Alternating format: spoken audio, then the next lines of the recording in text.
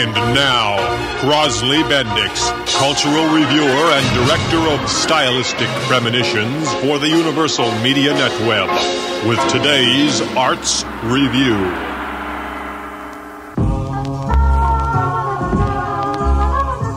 Good hello, everyone. This is Crosley Bendix. Today's discussion concerns the domestic arts. Art made and retained in the home. Yes, sometimes as I trudge along through the labyrinths of great halls and corridors, which comprise the imposing architectural layouts of our finest museums, I often find myself wishing our own homes, where we live, could sport something like the inspiring works that now hang out only in public places. I suppose it once seemed necessary to put artworks in mass accessible institutions when art was rare and valuable. But that was before technological evolution had readied us for the modern explosion of do-it-yourself methodology. So now, isn't it high time we tossed our spectator-oriented museums full of priceless tributes to rarity on the American scrap heap which now forms the pointed pinnacle of history's landfill? No one has time to go to them anyway. But everyone has time to be at home. Unfortunately, many, many private homes I pass through are filled with nothing but excuses. Don't have room for art, some say. Others say they can't afford it or they don't have time to hang around the house, so it would just go to waste. These are all forms of foolish self-neglect. With a minimum of talent and a few minutes a day, you can create real art for your own home. What's the trick? Well, tricks of the trade is more like it.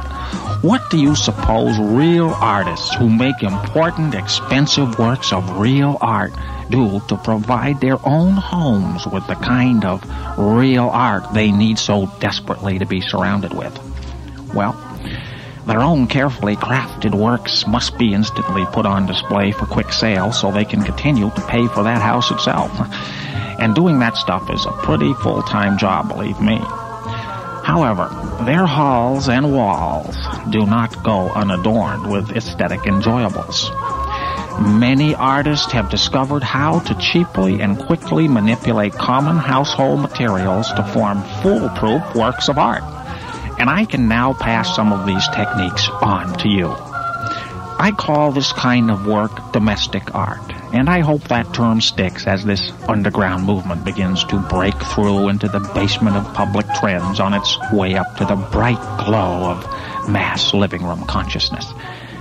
Now, my latest article for Surreal Homes magazine, on the stands right now, lists the complete step-by-step methodology for creating a wide variety of domestic artworks. But let me give you just a few right now. Do paintings appeal to you? Well, make your own, right on your own walls without even visiting an art supply store. You see, modern paintings no longer use much of that stuff anyway. What is admired today are works that stress simplicity, emphasize gestures with new materials, display their own means of composition, and are generally abstract. Incidentally, for our purposes here, you can read abstract as quick and or easy. For the non-professional artist, the popular abstractions of the pros have truly blown it wide open. Now this game is up for grabs. You don't need to draw, sketch, or have any traditional abilities at all to quickly create things surprisingly similar to what the pros spend months on. For example, Take that blank wall in your house. If it's wallpaper, you're in real luck. Just take a steak knife you don't want and a putty scraper and begin cutting and stripping areas of paper off the wall. If you want to avoid risk in your domestic art, rather surefire compositions can be created by always cutting in at the top of the wall and ripping the strips of wallpaper downward towards the floor. these vertical strips of bare wall can, with a little practice, be formed in any width, and they can be tightly or widely spaced down a hall or across or around a living room or a bedroom. This is perfect for beginners because the wallpaper ripping process is filled with that controlled randomness so important in modern compositions. You almost can't go wrong. But be creative. Try stripping all the paper off the upper half of the wall, leaving vertical flame shaped strips of wallpaper rising from your baseboards halfway up the wall. Or try your hand at stripping laterally when you have achieved a satisfactory composition of stripped and unstripped wall, the bare plaster areas are now to be stained with a kitchen or bathroom sponge dipped in juices from your refrigerator. Grape or any of the new cranberry concoctions are excellent, as are prune and mango. Mustard, ketchup, A1 sauce, or instant coffee sprinkled on your damp sponge can also achieve interesting color effects. Mix these freely for more unusual combinations. Get the picture? so will anyone familiar with Clyfford Still. And what about sculpture? Well, if you're a roving home dweller and uh, like to move freely through your own wide open spaces, perhaps wall sculpture is what you need. Incidentally, since this type of sculpture has only 180 degrees of viewability, that leaves out a full 180 degrees of possible mistakes, making this by far the safest form of sculpture to attempt. First, use some of those same household staining agents to color a small area of blank wall. Just sponge it on loosely in any sort of oval shape. Do it quickly now. Let it drip and run down the wall. That's all good now. But uh, avoid splattering above or to the side. Now, take about a pound of steel wool or an old cotton mop head or both and nail, tack, or staple this material to the stained area of the wall, leaving the edges of the colored area showing around this textural mass.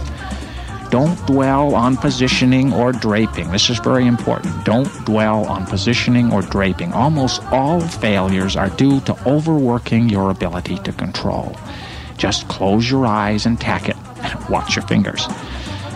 Texture can be further heightened by spattering this mass with cooked oatmeal, tapioca, rice-a-roni, and so on, or spray the material thickly with Scotchgard and throw M&Ms or trail mix at it, or cotton balls. Remember, when it comes to domestic art, substitutions are always allowed. It matters little as long as you maintain a process of composing that is relatively self evident in its results and adheres to randomness in its execution. Yes, hard to believe for the uninitiated perhaps, but nevertheless as true as nature herself, which any fool can see if they get out of the house once in a while. Now, of course, some of you may be interested in creating your own 360 degree full range viewability type of sculpture. This, incidentally, should be left till after you've gotten your basic technique down on a few domestic wall works. Well, you can use virtually any common piece of furniture you don't want. Remember, in art, the icon rules. The icon rules. Select something common to everyone's experience, like a table, a chair, a radio or TV set, bed, stove, and so on. More exotic items like toys, spittoons, family heirlooms, indoor palms, or ceramics of any kind may be used in California, but nowhere else. In general, stick to the universal for success. Whatever item of furniture you select may be sprayed entirely with shaving cream for temporary party art, or use a spatula to apply a thick coating of marshmallow fluff for a permanent piece. Either of these can be colored to taste with food coloring. You'll need that uh, five gallon jar of fluff for this, but, but marshmallow fluff will eventually dry to an almost rock hard consistency, and the shrinkage produces random cracking for an interesting surface effect within whatever texture you created in the application. Here again, in applying the fluff, don't think about it too much. It's just frosting a cake. Be thorough, but don't get personal. And of course, you'll have many months during the curing process to just sit around and toss things at the sticky surface. By the way, marshmallow fluff possesses unusual sticking power and may be put to good use in wall works as well. You may be wondering, what do you toss at the fluff? Well, I'll leave that up to you. Do you hit it from all sides or just one side so it looks like it was hit by a strong blast of wind full of paper clips, for instance? Well, that's up to you too, because with this brief introduction to the domestic art movement, I hope you'll find your own paths of element selection. After all, it's your house, so go to it. But remember, the key watchwords of domestic abstraction. Stick with icons, stick with randomizing procedures, stick with superglue, and don't get personal. With these simple concepts under your beret, you can't miss creating successful oddities everyone will accept as real art without hesitation. This is Crosley Bendix saying bye. Uh, bye. Bye now.